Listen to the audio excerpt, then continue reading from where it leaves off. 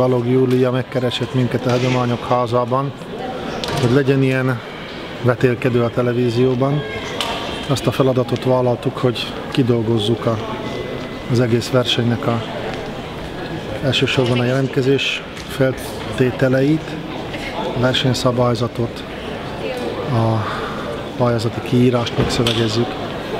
És hát ez egy, ez egy olyan szakmai feladat volt, amit én nagyon szívesen vállaltam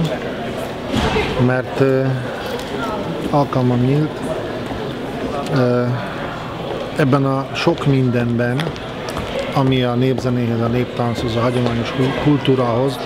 a mai közkultúrában kapcsolódik, ebben a sok mindenben kiválasztani azt az irányvonalat, amelyik a legtöbb fiatalt mozgatja meg,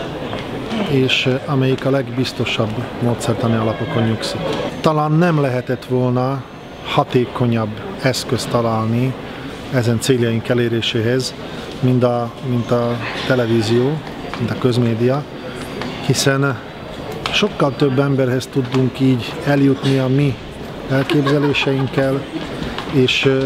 talán így tudunk a legtöbb kollégának a munkájáról, áldozatos, nagyon magas, azt lehet mondani világszínvonalú tevékenységéről beszámolni. És az, hogy ilyen sok laikushoz eljut, az üzenet, hogy a mi hagyományos kultúránk, a mi értékeink, azok nem valamiféle múzeumba való, vagy múzeumból kirángatott halott dolgok, hanem élő, velünk együtt élő részei az életünknek, az olyan jelentőségű,